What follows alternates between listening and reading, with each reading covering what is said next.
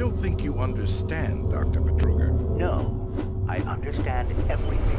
I'm telling you now, Doctor, the UAC is taking over this operation. Operation? Is that what you're calling it? The situation is out of control. It's not out of control, Swan. You are.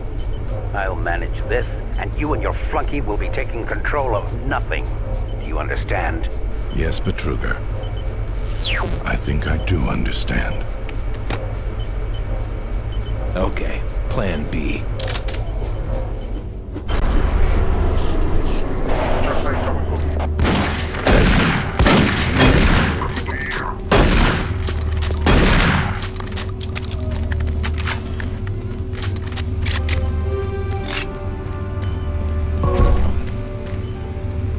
Welcome to the Alpha Labs, formerly designated Phase 1 by the Union Aerospace Off-World Research Division.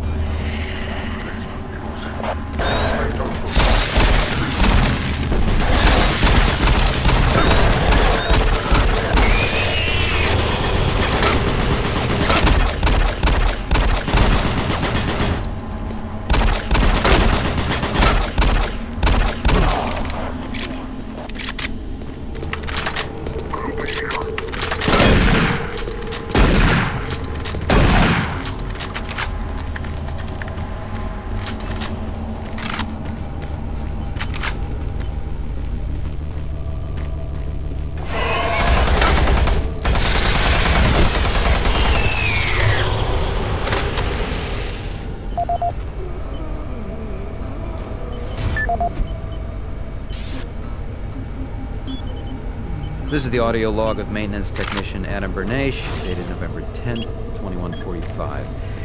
I fixed the couplings on the heat.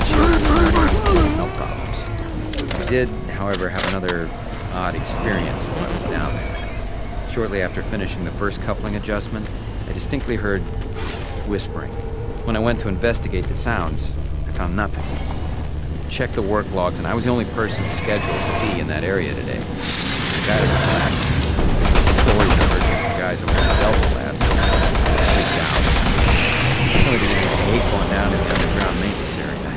People down there got a bit off.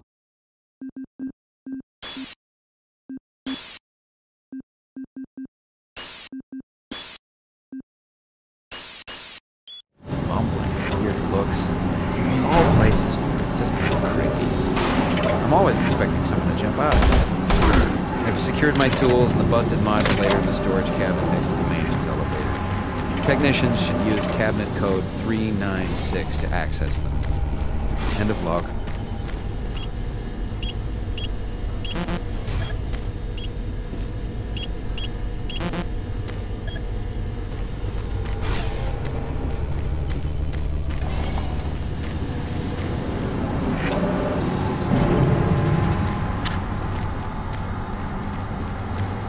Don't stop, buddy.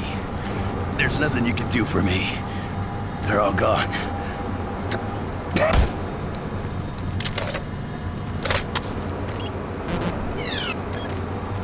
Access denied.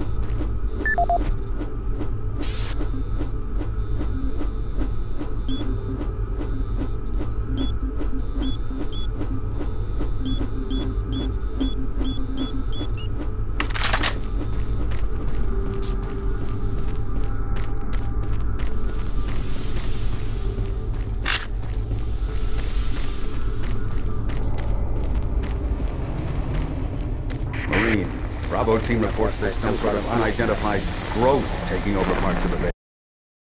I don't know what it is, but it can't be good. Stay sharp.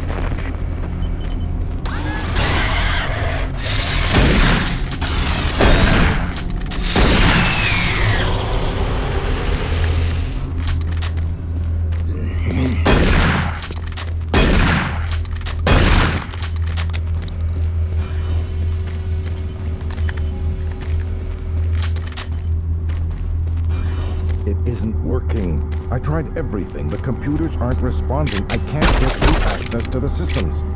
We can't do it here. We'll have to access the system somewhere else. All right, let's go.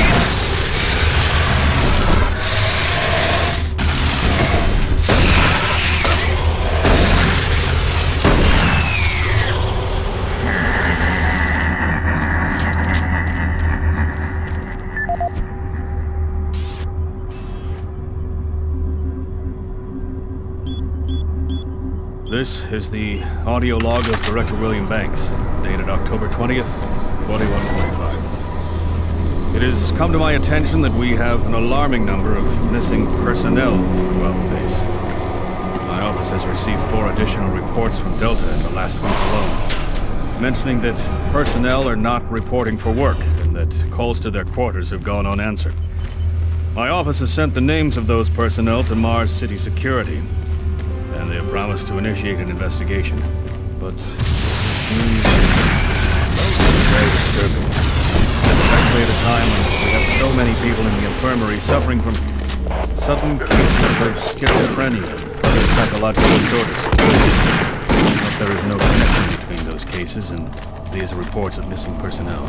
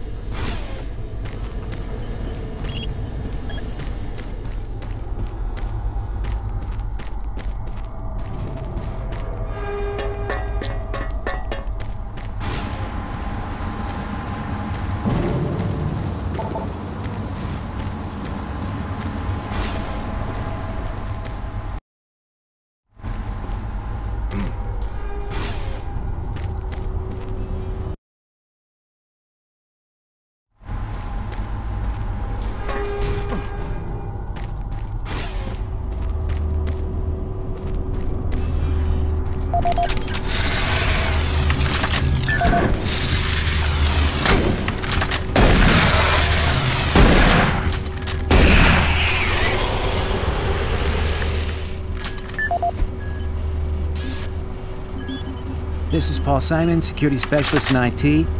Our network security has been breached several times over the last few days. Now, it looks like it may have been going on longer than that, but whoever did this really knew what they were doing. They covered the tracks really well. I just happened to notice some log anomalies, or it would still be going on. The intrusion came on an encrypted carrier signal from the Delta complex. They piggybacked the virus on one of the supercomputer requests, and it peeled itself from the data stream once it was inside our firewall. To ask to respond. Fortunately, due to the security in that complex, I can only tell it came from within Delta. There's no way to identify which machine or even which lab it came from. Whoever was in our system had access to all personal data, including medical reports. My team will be monitoring the network closely in the next few days, looking for anything unusual. End of log.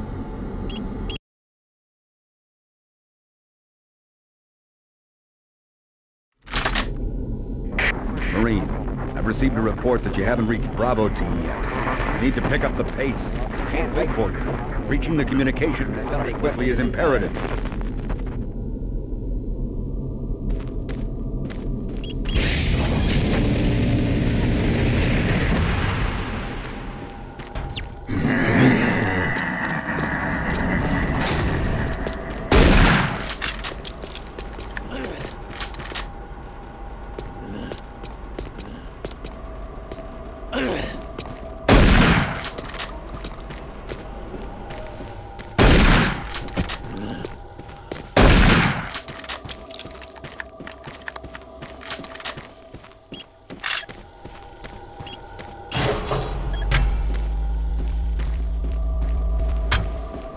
UAC takes pride in its safety record. Please follow UAC procedures.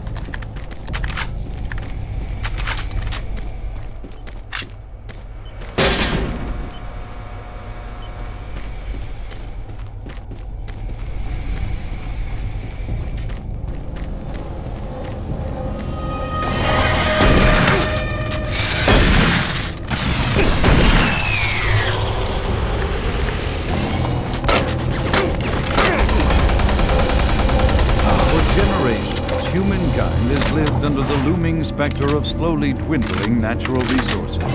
Our new ventures on planets like Mars have only intensified our need to find sources for metals, petrochemicals,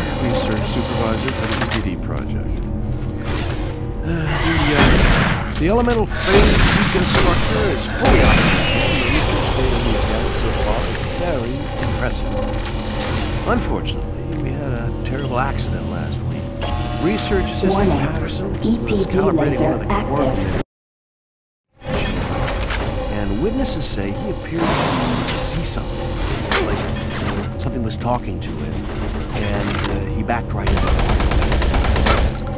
it. Was not a pretty sight.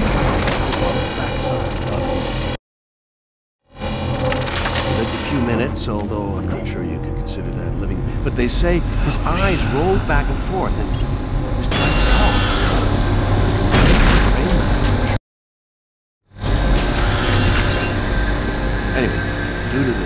I have enacted new safety protocols in the lab, and we have of the storage cabinets with emergency medical supplies. Code for the cabinet is 752.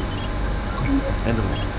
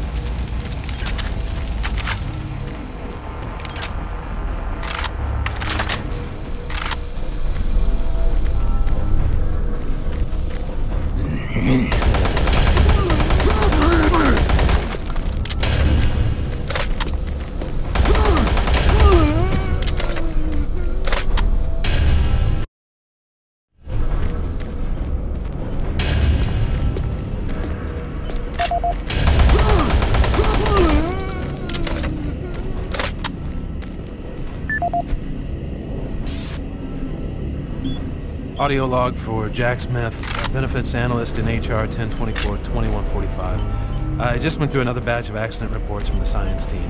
We've had five more people hurt this week. Gas leak stopped. Fire extinguished. incident was one- John Hughes, whose hand was caught in one of the plastic extrusion systems. He was performing maintenance on it and states that he unplugged it and had the safety key in his pocket. It managed to activate without an apparent power source and his arm up to the elbow before someone got him. It's been reported that the uh, machine is still running and shut it down. The cost on that incident alone is enough to raise the red flag, but it's it's high. We're going to overrun our budget on benefit. While it's not my department, I have to assume that as well, because according to these reports, the equipment's breaking down on a daily basis. Please mark this for review at corporate end of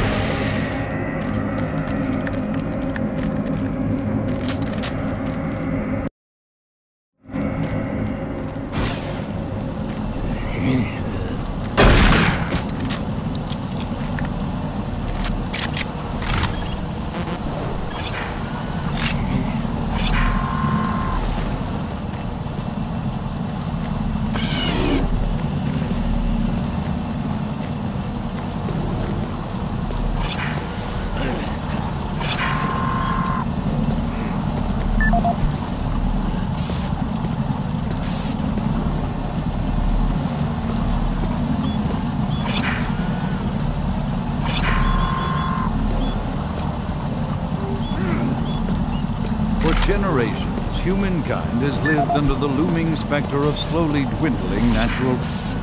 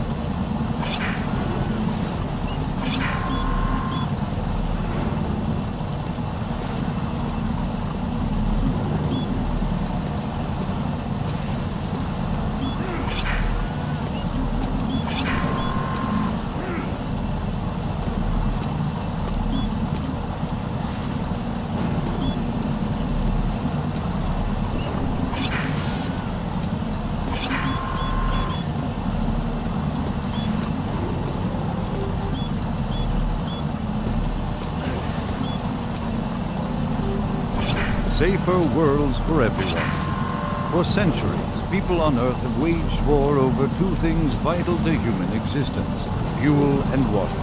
As part of its ongoing commitment to create safer worlds for everyone, the UAC recently unveiled its development of the Hydrocon. Though still in its prototype stages, the Hydrocon will, in one dramatic move, forever end all shortages of water and fuel. By splitting iron oxide molecules, the Hydrocon produces oxygen and hydrogen cheaply and safely, without the need for large amounts of electricity. The hydrogen is then used for hydrogen fuel, a substance so versatile and clean that it can be used in everything from home appliances to today's most demanding rocket engines. A side benefit of producing this fuel is an endless supply of pure, spring-like water that is more refined than any earthbound spring. We envision a world where technologies such as the Hydrocon can be used to end drought and civil strife in impoverished nations where water or fuel have ever been in short supply. While always at the forefront of scientific research and development, Union Aerospace hopes that the creation of the Hydrocon will continue to make safer worlds for everyone.